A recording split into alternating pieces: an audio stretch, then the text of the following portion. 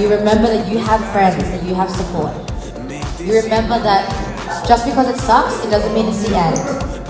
And you're gonna remember that you are not big enough to screw up your future.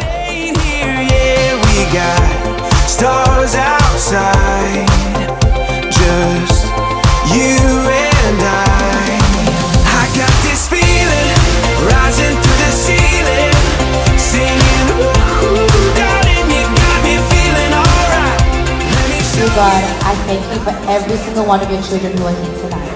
Thank you that they are not here by accident, Lord. But I thank you that you have guided them every step of the way through their preschool, their kindergarten, their primary, their high school, and now, Lord, as they face the biggest challenge in front of them. And I pray, Lord, that they would they would experience you in a deeper way that they've ever experienced you before. I pray, God, that they would learn to study with you. That they would learn, Father, to memorize their essays with you. That they would walk into their exams knowing that that they're not alone. That they have God with them, they have God inside of them. That they have a God who has a beautiful plan for their future. That they have a God who loves them and He's not going to be disappointed just because you messed up a few months.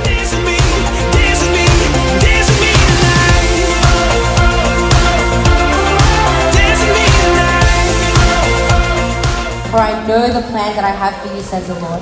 Plans for good and not for evil, to give you a future and a hope. So I pray that if every single one of these people go into those exams, they will remember that their future is set. And they are not big enough to screw up their future. They are not big enough to ruin their, their future careers.